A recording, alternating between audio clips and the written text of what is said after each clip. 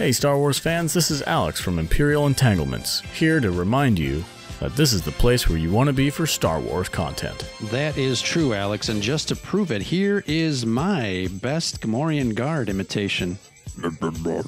eh, maybe not. That's funny. And we're here to tell you If you like Star Wars, and I think you do,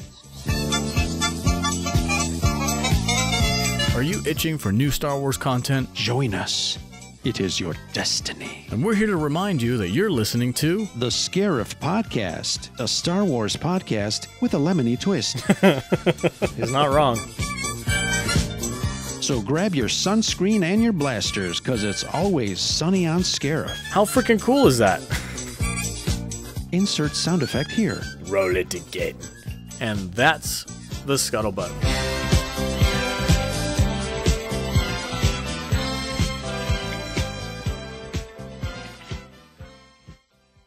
What's up, Scuttle Buddies? This is Ro coming to you live from the Scarif Scuttlebutt podcast. Not really live, I'm recording this, but uh, you know what I mean.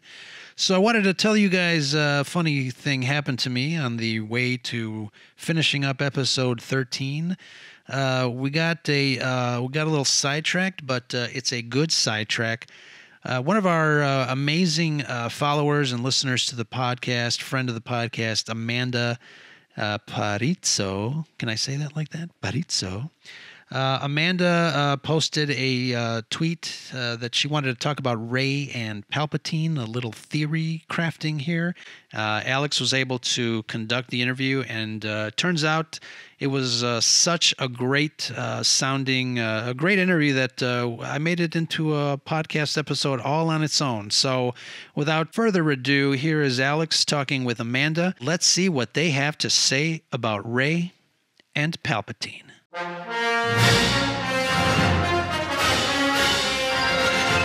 Welcome, Star Wars fans. Thank you for listening to the Scarif Scuttlebutt podcast. I am joined today by a special guest, and we have a very cool topic that we want to discuss with you.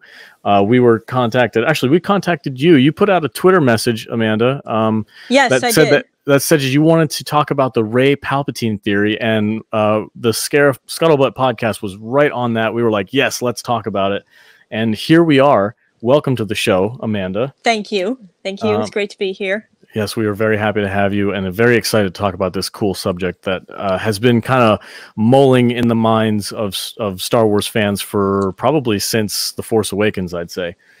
Oh yeah. Well, you know, it's like um I love personally talking about theories cuz um my Twitter handle is Jedi Caligula 89. I studied ancient Greek and Roman history and mythology in, in university. So I'm like, you know, I love the whole mythology and theories.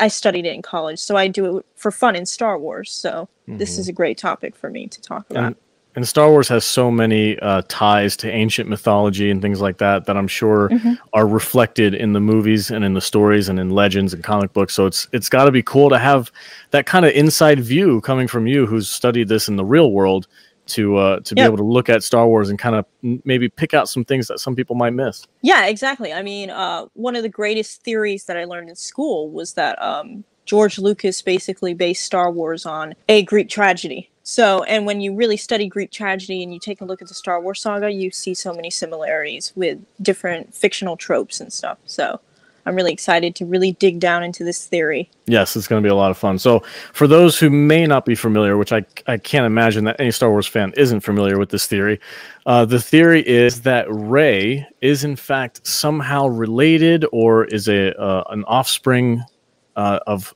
the Emperor himself, Sheev Palpatine. And there are a ton of little Easter eggs and hints and uh, some little dustings of, of possibility within the Star Wars universe from the Force Awakens onward through the uh, the ex- extra content that we get in novels and stuff like that that actually support this theory. And uh, Amanda and I are going to sit down and, and discuss the possibilities and what some of these hints are.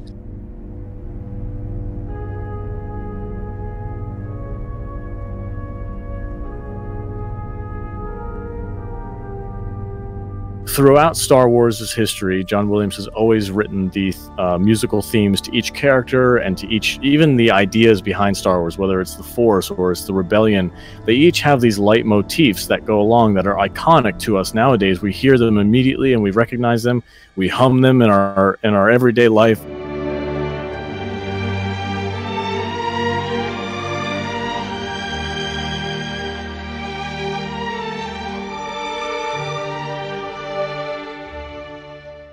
Probably one of the most brilliant composers that I've ever known.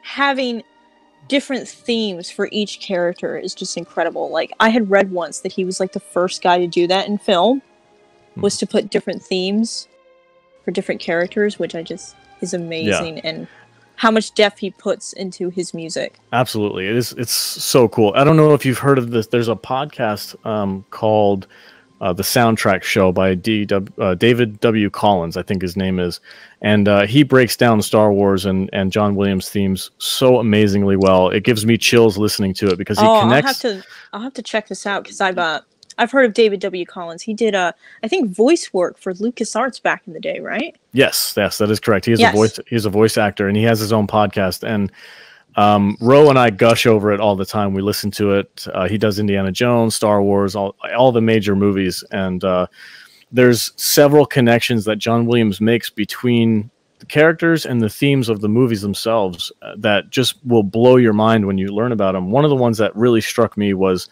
uh, Yoda's theme from Dagobah in, in Episode Five. Actually, has a very clear and distinct connection to the the uh, Rebels theme. Uh, that that kind of you know go off to war and defend the right uh, mm-hmm. it, it's yeah. in, it's inside yoda's theme which you wouldn't normally think they're connected but john williams very pointedly made a connection between those two. Also with luke uh, his his theme that we all know by heart when he's looking over the uh, the dual sun. The sunset yeah. Yep. That theme is connected uh, in several different ways to the the force theme that opening you know the the yeah that the, do do right Yes, yes, ex- yeah. Da-da-dun, exactly. Yes, yeah, that yeah. theme.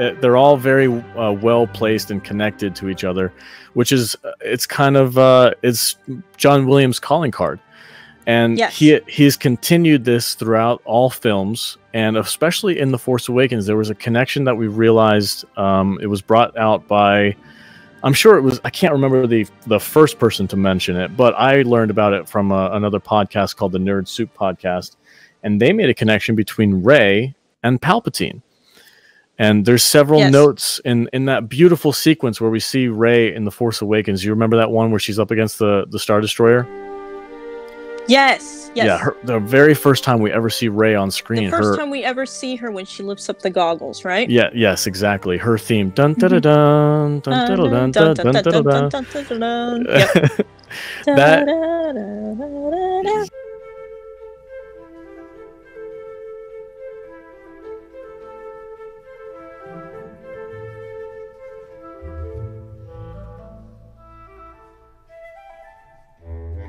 Yep. Yes, I love Got that it. thing. That's probably my favorite. my favorite uh, piece of music from The Force Awakens is Rey's theme. I love it. Oh, and, oh, I uh, love it, and um, I gotta admit, I love the First Order theme. I really like that. I, you know what? Now that you've mentioned it, I can't actually think of what it is. It's that dun dun dun dun.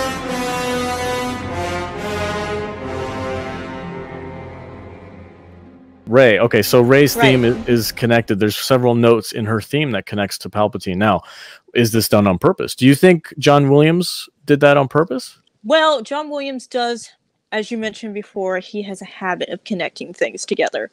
I don't think he did it not on purpose. I mean, he's a brilliant composer. He's done it before with Star Wars. I mean, he'll do it again. And I think this could be done purposely to connect the two. I mean, we do know this is old say, but George Lucas did say at once that Palpatine was always going to come back to the story.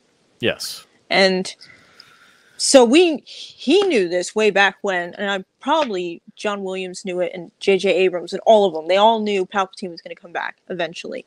So this connecting the two, it just makes sense to connect the two because there is Palpatine is going to come back and like Rey being connected just fits with her mysterious background. We don't know anything about her.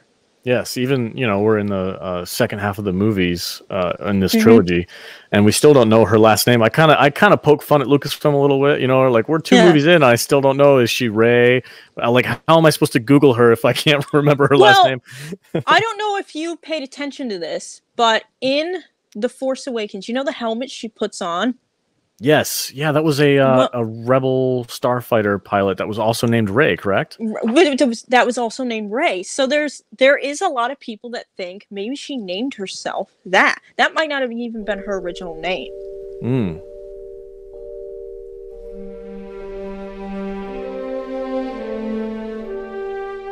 If that's the case, we don't even really know her real name then, because that's very interesting that the pilot that she puts the helmet on name is Ray too.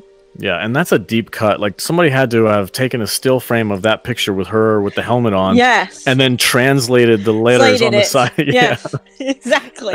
I don't know who did it, but they found it. that's that's some deep level nerd. I love it. yeah.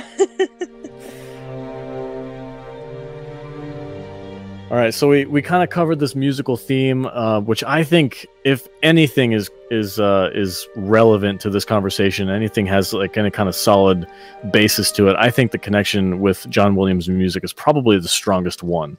Um, it's Yes. it's it's definitely something that is absolutely possible. It's op- it's something that he's done in the past with other characters. Uh, I think that one fits perfectly. But next, we're gonna dive into some of the lore. And uh, you Mhm. mentioned something really interesting a minute ago about the Legends uh, Darth Vader comic book. Why don't you tell me about that real quick? Yeah, um so in the new comic book series of Darth Vader, it was uh Darth Vader number 25. This is in the new canon. So Disney canon. It was revealed that Sidious succeeded where Darth Pelagius failed. So Darth Pelagius had been trying to create life from midi-chlorians.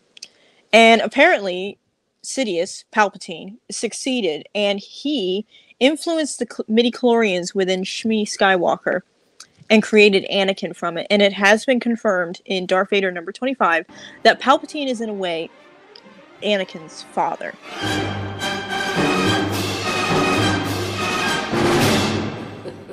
Mhm.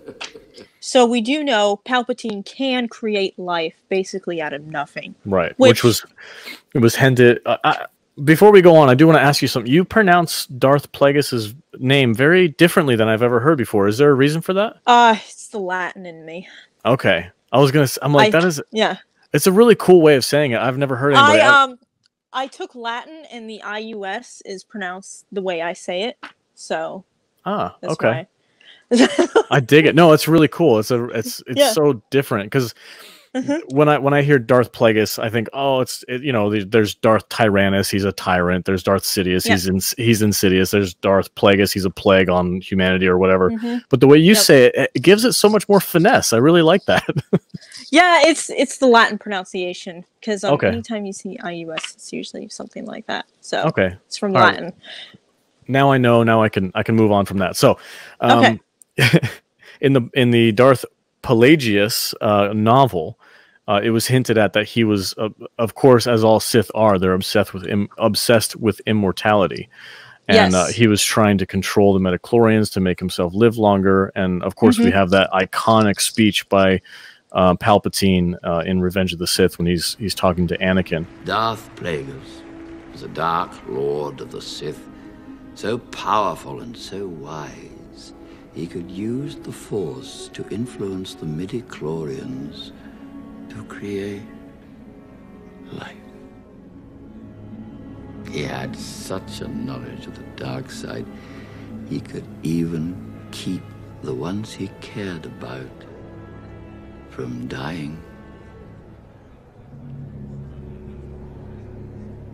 He could actually save people from death.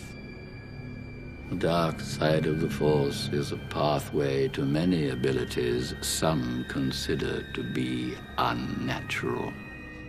Uh, Mhm. So this all kind of connects, and this all makes sense. And I loved that the comic brought that up, and and it was kind of a mystery in the Phantom Menace where Anakin came from. But now we're starting to flesh that out a little bit. Yeah, because like in in Revenge of the Sith, when he tells the tale of you know the tragedy, you know, which I love it because he exaggerates so much too. But uh, but the whole tale is starting to make you think. You were like, okay, if this guy could do it, is did he create Anakin? But then you find out in this comic that it was actually Palpatine. So we know Palpatine is extremely powerful. I mean, this is powerful to create basically life just from the midi chlorians. hmm Yes, and he uh, not so that it proves that he could do it again if he wanted to. Yeah, absolutely. And he said that line, you know, he taught his apprentice everything he know. And of course, he was Mhm. the apprentice. So uh, it, Mhm. it stands to reason that he knew how to do that. He did it with Anakin. Now, let's kind of stretch that into the possibility that did do you think he did that with Rey as well? I I think it's a a big possibility. Rey, we don't know anything about. She has kind of mysterious beginnings, kind of like Anakin, except Anakin had a mom. She didn't. Well, that we know of. Uh, so I do think it could happen, and it could benefit him greatly if he did it again. And this time, technically worked better than with Anakin. Yeah. Yeah, because he would have. I mean, we're speculating at this point whether or not he would have stuck Mhm. around. Uh, like Anakin, he kind of left and let grow up. Then he he discovered him. It, he acted like he discovered him, like he, didn't know who he was in the Phantom Menace. But is it? It might be a possibility that he knew all along. Uh, of course, because he said, Mhm. "I'll I'll watch your career with great interest." That ominous line Yes. at the end of the Phantom Menace. So we have all these little little hints and tugs at this uh, at this thread. So with Rey, Rey's a bit different though. We have that flashback uh, from the Force Awakens where she's being left behind. She's a young girl. She's probably I don't know. What do you think? Eight in that scene, maybe younger. I'm thinking, I'm thinking like six. Six. Okay, so she's six years old. She at that point she knows who her parents are, and that's why she's reacting to the way she does. She doesn't want them to leave. So it's possible that it was just her mother. And if Mhm. you, uh, th- this is going to be a, a bit of an Easter egg deep cut for uh, a connection between the Force Awakens and the Rise of Skywalker. Uh, the ship that is leaving Jakku during that flashback scene is the same ship that we see in the Rise of Skywalker trailer, heading towards that uh, kind of snow-capped mountainous um, planet, um, where we are most likely going to meet this new character that is played by the actress Keri. Is it Carrie Allen? Keri Russell. Russell, Keri Russell. Yeah, and I think her character is Zorii or Yeah, I, I sh- probably should have looked that up. yeah. But I this is she's like fully covered though. She wears like a mask and everything. Yes, yes. I, I'm Mhm. wondering. I'm wondering if there's going to be a connection to uh, Palpatine and this character, this new character we're going to be introduced to in the Rise of Skywalker. Well, which I did find out this about the new character. Um, I was reading it on Force Friday that she has a connection to Poe. oh, okay. I don't know if there's going to be a connection to Palpatine, but I know there's a connection to Poe. But it's really weird that her ship is like the same one that dropped off Ray. Yeah, and that's con- So- uh, that's pretty unavo- Like if you look at the side by side pictures of the two, it's it's absolutely the same ship. There's no question of- Yeah. in in my mind about it. So that's interesting. She has a connection to Poe. So maybe there's an who knows? Maybe there's a Maybe connection there's between. another another con- connection. yeah. Well, I do know this is kind of going off side trick a bit, but Poe Dameron has a connection to the Force too. If you Yes. rem- if like um, did you read the part about the Force tree that Luke planted at the house? I did. Yes, I am Yeah. aware of that story. So that's kind of maybe a weird Force connection thing going on. I don't know. yeah, yeah, it could be That's be. just going way far out. yeah, that's But- a bit. That's a, on a tangent, That's too far out. but I'm not opposed to it. no. um, all right, cool. So we have we have this this Darth Plagueis uh, or Pelagius and uh, Palpatine uh, creating Anakin, and then also creating uh, Rey. So that would that's another possibility. And then also in the history and lore, um, and I'll kind of bring up the the aftermath novels. There's a lot of cool Easter eggs in that, and the one I, I wish we could go into all of them, but the one that pertains to this most uh, uh, directly is uh, is Jakku is a major major part of the Emperor's last stand during or right after the Battle of Endor. Uh, there's this character named Gallius Rax who is kind of the right hand man to the to uh, Emperor Palpatine, and he takes mm-hmm. over. He more or less takes over the Empire after um, Palpatine dies, or is thought to be dead. He was born on Jakku, so and he immediately goes back and there's of course that battle of Jakku, which is why we have all the destroyed uh, star destroyers there, where Rey is, is living her life amongst the ruins of the Empire. Uh, mm-hmm. There's a, there's a lot of hints that Jakku is very very much important to the story of the Empire and of, of Palpatine. He set up some kind of a base there. Uh, you were mentioning there's something and even in a video game uh, right? Uh, yes. In Battlefront 2, which tells the story of uh, Iden Versio, who is the daughter of a um, admiral in the Imperial Navy, she fights in the battle on Jakku, and her father is one of the commanding admirals of Jakku, the Imperial battle fleet, and uh, which is what's really interesting about him. And I was just trying to find it on my computer here, was that her father, Iden Versio's father, which I cannot remember his name, but Admiral Versio, was receiving orders from the Emperor beyond death. And these orders were in this robot that had destroyed, that had a holographic interface of the Emperor. So the Emperor was still giving orders to the Imperials after he was dead. Right. Yes, we see that. I think that was the. Um was it the order fire firestorm order or something like that where he had to he had the imperial fleet go back and destroy kind of like cover up his footsteps?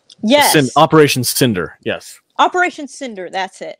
Um i cannot remember the droid's name though but it does a great connection that admiral versio was receiving secret orders because a lot of the orders were coded secret orders from the emperor Admiral Versio, Operation Cinder is to begin at once. Resistance, rebellion, defiance. These are concepts that cannot be allowed to persist. You are but one of many tools by which these ideas shall be burned away.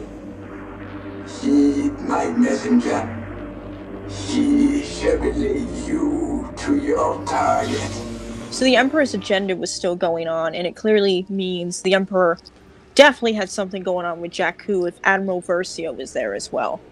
Yes, 100%. And then, of course, we have the connection between Gallius Rax, Jakku. Now we have a connection with the Emperor and Jakku. So there, Jakku is a very, very important planet in this story, and it just so happens to be where Rey comes from. So there is it's un it's unimaginable that she's not somehow connected to the Empire, right? I mean, who? Why else would she be on Jakku, and why else would she be stuck there? And exactly. Some, and somehow not wanting to ever leave. Like she she daydreams, kind of like Luke does, about getting off the planet. But as soon as she does, she wants to turn around and go right back. So there's mm-hmm. something something that's calling to her uh, on that planet, and I wonder.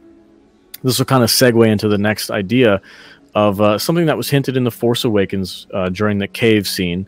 Uh, it kind of mirrors uh, what Luke did in on Dagobah, but in a yes. different way. She was she was asking the Force for an answer, and she didn't think that she got the one, or she didn't get the one that she wanted. Right? She wanted to see her parents, but in fact, mm-hmm. all she saw was many many different versions of herself. And what do you think that signifies?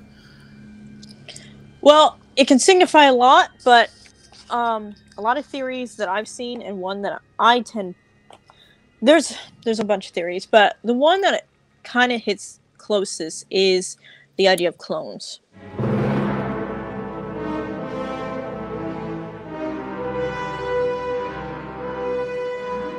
If anybody could clone a Force user, it's Palpatine. Exactly. I mean, he's he was the creator of the uh, the Republic army, the clone troopers. Mm-hmm. Like he, he, there's, you know, he knew with who the Kaminoans were, and he knew how to uh, go about this process. He had the the means to do it. He had the knowledge mm-hmm. to do it. Now, I know in Legends, I'm not sure if they've mentioned this in Disney canon or not. I, I, I have to ask some uh, some other fans to see if they could find anything. But in Disney, in the in the old canon in Legends, uh, cloning is one thing. Cloning a Force user is a totally different thing. It was completely different in Legends because it it it took a lot more. Yeah, yeah, it was a lot more um, trial and error. And if we remember, of course, the Force Unleashed kind of dabbled in that with uh, the creation of Starkiller.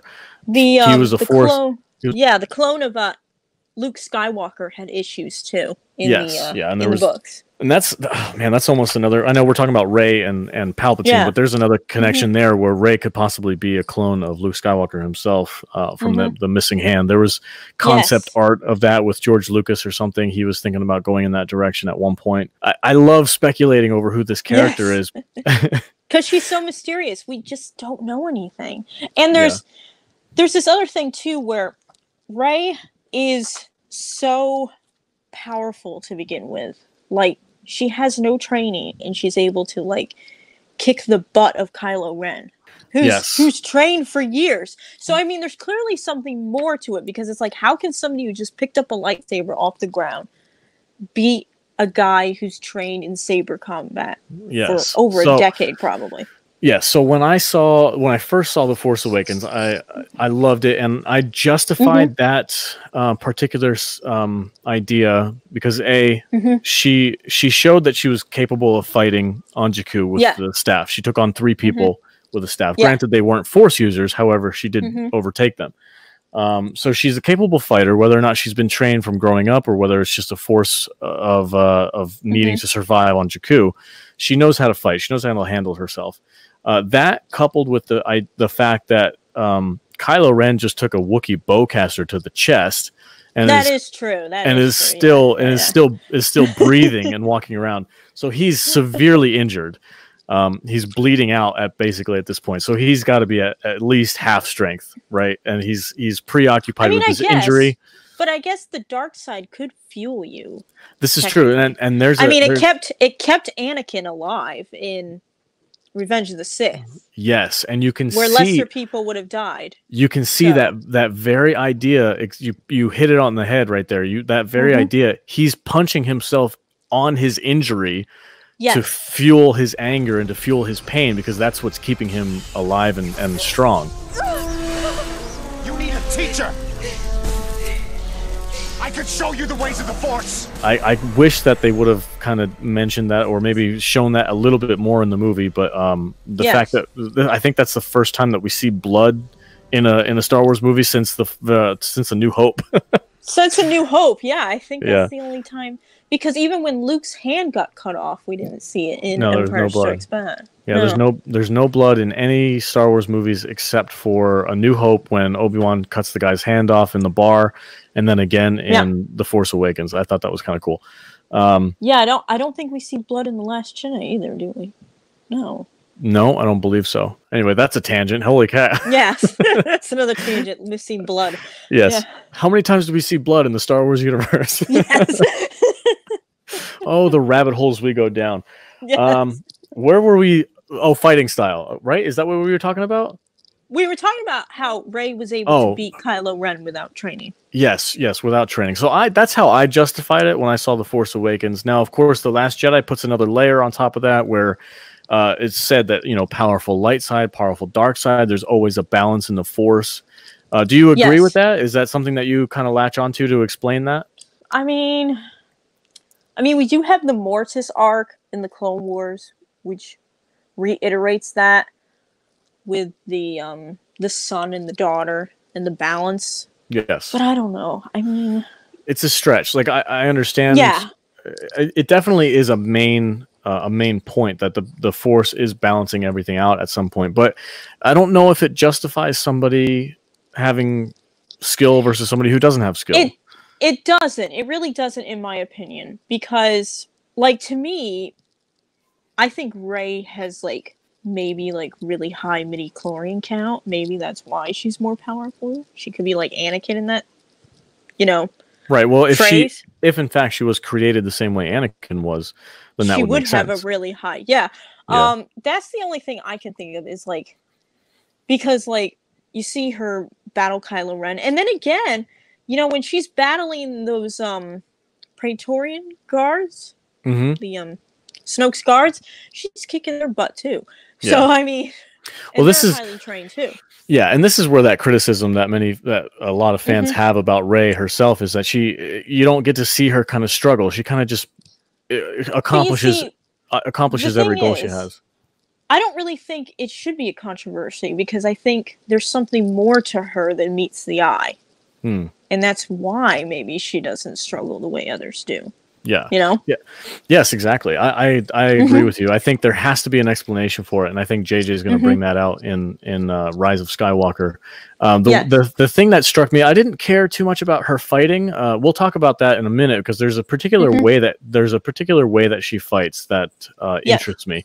But uh, real quick, a little tangent. The thing that struck me wasn't necessarily her fighting skill, which I justified again by the Force Awakens uh, in that opening scene. But what what really made me question was when she lifted up all those rocks to allow the rebellion or the resistance to get out of the mountain. I was like, that's a, that's a, that's something that we've never seen any other Jedi even capable of doing. Even Yoda struggled with uh, with that giant pillar. If you remember in Episode Two when it fell on Yes. Obi Wan, he struggled to stop after that. and that was after fighting Dooku, which was no tough fight either. Yeah, So exactly. he was tired. Um So he was but yeah, with Rey lifting all those rocks, I mean, again, it's it's clearly like massive force power there to do that yeah. in just Yeah. one go. And she did have training from Luke, but it wasn't like major training, if you get what I mean. Yeah, it was very basic stuff. It was kind of It like was very basic. It's not like the training that say Anakin Skywalker or Obi Wan Kenobi got when they were training to be Jedi. Yeah, I would like I would liken uh, Luke's training of Rey. I would liken more to Obi Wan's training of Luke. So Yes. if in in episode four, Obi Wan explains what the Force is to Luke in a very basic way, and he Mhm. also he shows him how to tap into it with that little droid on the Falcon. It's nothing extremely out uh, out of this realm that he was able to accomplish those small feats, Mhm. but it gave him a basis, a foundation of what the Force is and how to use it, which is similar to what Luke was doing with Rey. Rey just Mhm. Rey takes that that small bit of training and just expounds on it like wildly. It's crazy. Exactly. so there has exactly. to there there has to be an explanation for that, and I I think Mhm. we're there has to be some kind of a connection with her and and somebody who would be so massively powerful in the Force. And the only other person I can think of beside Yoda would of course be Palpatine.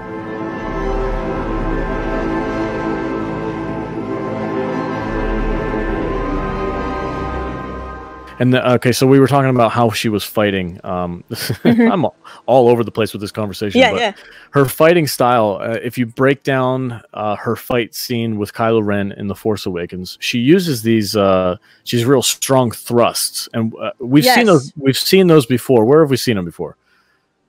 Palpatine. Palpatine in Episode Yes. Three. Episode three, we see those strong thrusts when he's battling Mace Windu. In the name of the Galactic Senate of the Republic, you're under arrest, Chancellor. Are you threatening me, Master Jedi? The Senate will decide your fate. I am the Senate. Yes, exactly. And he takes out what? How many Jedi's does he take out? Um, he takes out Kit, Kit Fisto. Oh, poor and guy. he I like takes out. He takes out. Oh, what was his name? I think Saesee Tiin. Is that it? Is that how you Oh, say his name? I didn't expect you to name him. I was just trying to number how many. It was. And I don't it- remember the other guy. There's three, I think. Three Jedi that die Yeah, and it, it like within immediately. Yeah, immediately within a couple minutes, and he uses that Mhm. thrust like two two times just to do those Two those. times. Yep. Yeah. And, And uh, he does that that cool spiral move. It's treason, then.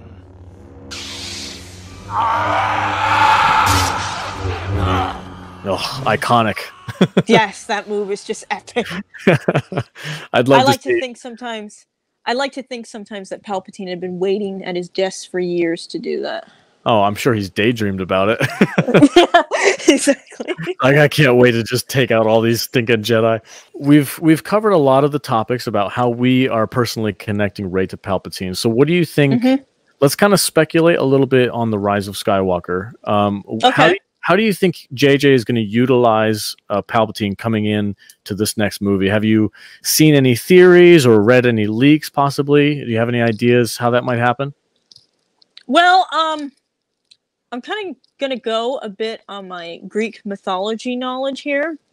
Oh, perfect. So, so yeah, so we're gonna go with this. If Star Wars follows typical kind of um, epic story traits, um, I tend to think Palpatine is going to be some kind of spirit being. To be honest, Okay. I think he's going to be a Sith spirit. Um, we've seen it before in Clone Wars. Darth Bane appeared to Yoda as a spirit. Mm-hmm. Um, so I think he's going to be a kind of spirit-like creature, which kind of fits with that whole epic storyline. Bad spirit coming in. Okay. uh, Uh, what would, what kind of Greek um, story would you be comparing that to? Where are you getting that idea from? Like, um, get s- get super nerdy on us. Tell us where you're. Coming okay, up with that get, get us super.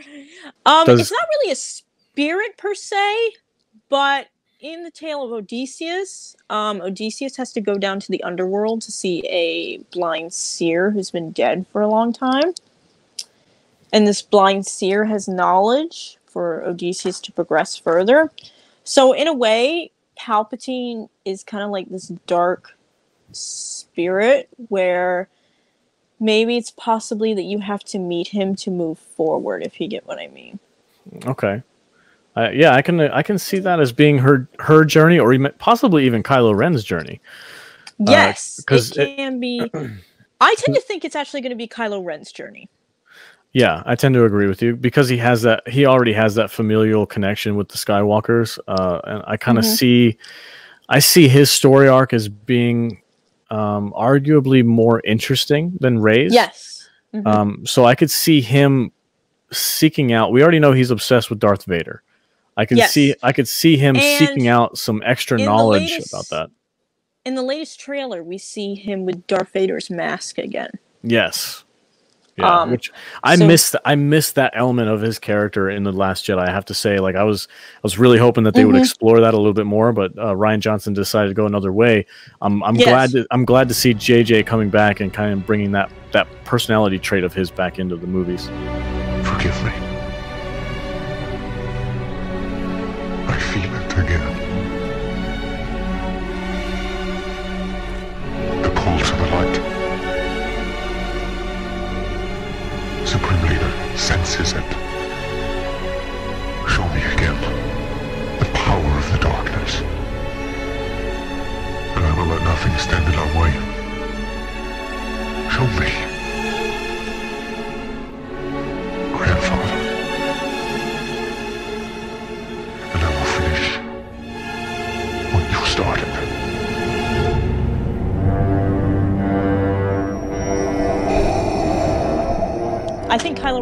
Go to him, Sidious, Palpatine, and then from there. Now, this is what I think: the dark Rey that we see in the trailer. I think Mhm. it's a vision. I don't think Rey's actually gone dark. Okay. I think Palpatine is showing Kylo Ren what will happen to Rey. Oh, interesting. Okay. Because to me, it makes sense because her going dark in the film would just be like, what now? You know, like I would think personally, if you would want her to go dark for a narrative perspective, you would have had her go dark in the last movie. Yes, I to- 100% agree with you. Um, narrative, narratively with storytelling and stuff, it just doesn't make sense for her to go unless they're really wanting a dark, morbid ending. Maybe I don't know, but I doubt it. Yeah, I doubt Um, it. Especially, I think George Lucas is more involved with this one, and he's always been a proponent of um, of Mm-hmm. having kind of a, a glimmer of hope in his movies. He wants those movies to be something that people feel good about. So I don't, I don't think they're going to go dark, morbid with the last ever Skywalker s uh, story. Exactly. So I think if they wanted to make her dark side narratively, they would have done it in The Last Jedi. But since they didn't, I think this is a vision created by Palpatine of what she could become. Or possibly what he wants to become, and he makes it believe to to Kylo Ren because you know Palpatine is so manipulative. He makes him believe that that is going to happen. Yeah. Since there's a slight possibility that Rey is a clone, do you think that that, that dark version of Rey is actually another clone that we're seeing? It could be that too. I mean, for all we know, Kylo Ren comes across Dark Side Rey. hmm I, don't think, Rey's going to come across Dark Side Rey, but you don't think so. Oh, that would be kind of cool. I don't. I don't think so. I think it would be really cool, but I don't think so. so my my speculation as to what's going to happen is I, I do believe that Rey is going to find out that she is somehow connected to Palpatine, and it's gonna there's Yes. um there's a bit of a theme that's it's very strongly hinted at that Rey is constantly looking for some kind of a familial connection. She meets um, Finn and immediately becomes friends with him, and she wants to be with him and she wants to help him. And then the same thing happens. Uh, she looks as Han Solo as like a father figure, and she only arguably Yes. knows him for like 20 minutes. And she's she's constantly looking for the next person. She lost Han, and then she goes to Luke, and she tries to find a connection with Luke. She keeps getting rejected by all these people or not rejected, but she keeps she keeps losing all these people that she's trying to connect with. And if she comes across uh, Palpatine at one point, and he actually tells her, "We are connected, we are family," it might be a very tempting scenario for her to be like, "Finally, I found this connection that I've been searching for." It's Yes. with it's with this person who, although is evil, maybe the idea of having some kind of of um, Mhm. realization of who she is kind of overshadows the the idea that he's this horrible horrible person Exactly. I mean, there is that thought too that he could come out and basically say, well, let's say he did create her out of the midi-chlorians. Let's say that theory is true. And he says, well, basically, I'm your father, you know? Mhm. So it would create like this bond almost yes between the two of them. And that that could influence her a lot because all she's looking for is family. And then finding out, well, this guy is my family. yes exactly and this that actually parallels uh, what happened with luke in empire strikes back and Mhm. I, I as soon as you said that i pictured it in my head luke was devastated when he found out that vader was his father however Yes. it wasn't much longer after that when he was sitting in the falcon and he walked up to the cockpit and he was like trying to communicate with vader again feeling the draw of going mm-hmm. towards him like he wanted to go back to him even though he knew it was wrong and he knew how how evil his Yeah. father was he, he still wanted to to connect Yeah, and I mean, look at the whole plot of basically Return of the Jedi. Luke is wanting to reconnect to his father, to bring his father back to the light. So he has this definite bond with his father already, even though his father is so evil hmm absolutely as well. So the same scenario could be true of Rey if she finds out that she's connected to Palpatine. She might, despite how bad he is, he, she might still feel this connection and draw to him. Mm-hmm. Exactly. I love it. I love this stuff. This is so nerdy and awesome. um, all right, see what else can we talk about? We covered all of our topics, and we're looking at about forty minutes, so we're on track. Uh-huh. Um, is there anything else that you wanted to talk about? Any other theories you wanted to speculate about? Well, here's a good one The Rise of Skywalker. Which Skywalker do you think is rising?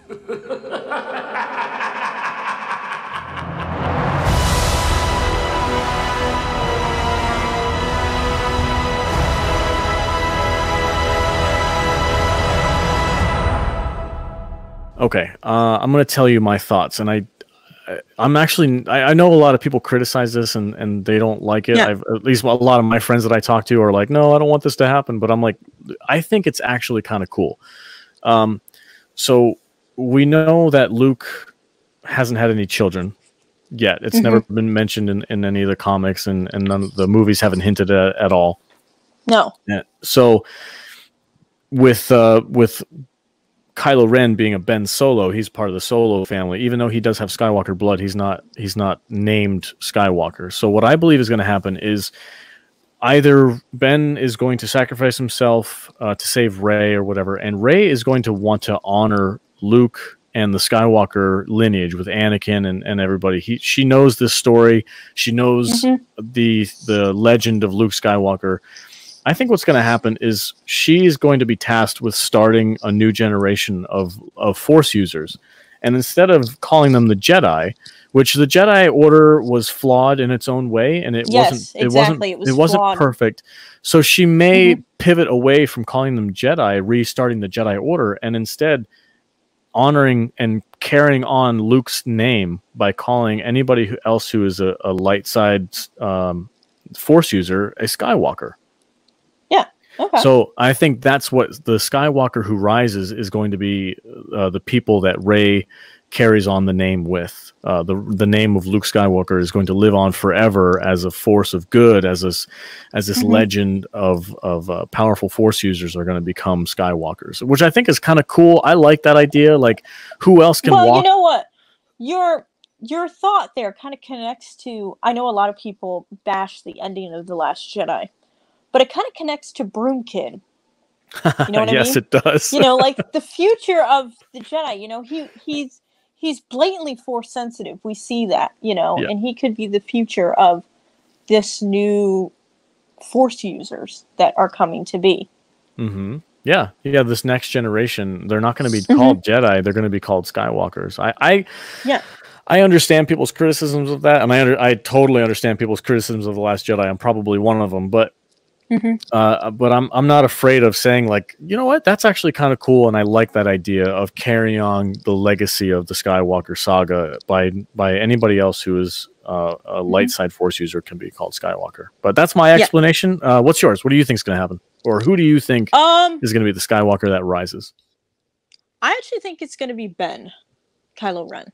Okay, we're talking Bendemption. I, yeah, uh, sort of. Um, I think though he's going to sacrifice himself. Okay, I don't think he'll live.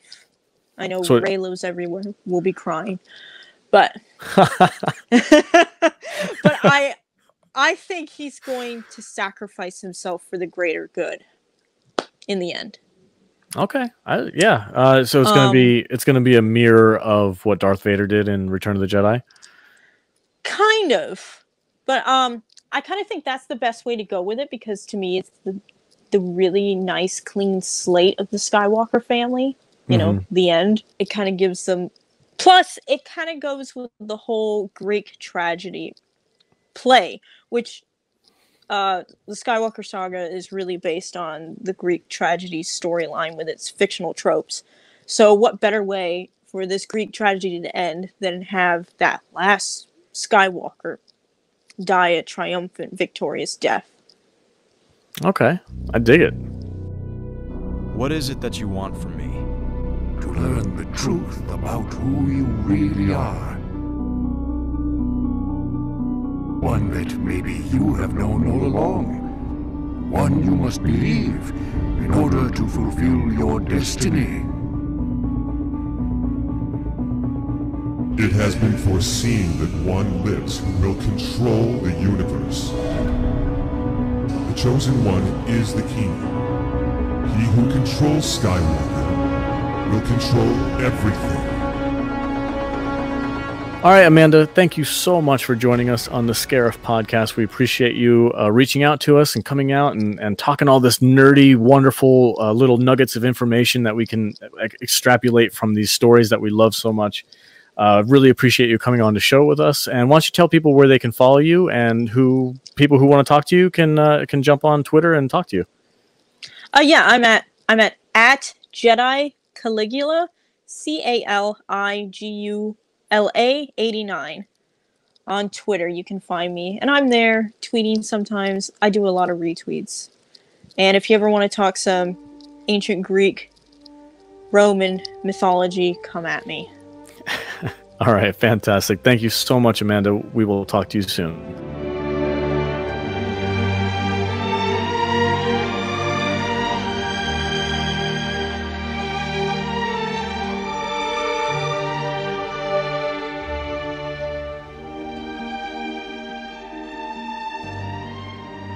Greetings, Star Wars fans. This is Andrew from Coruscant Radio Underground. You're listening to the Scarif Scuttlebutt podcast. Remember, the Force will be with you, always.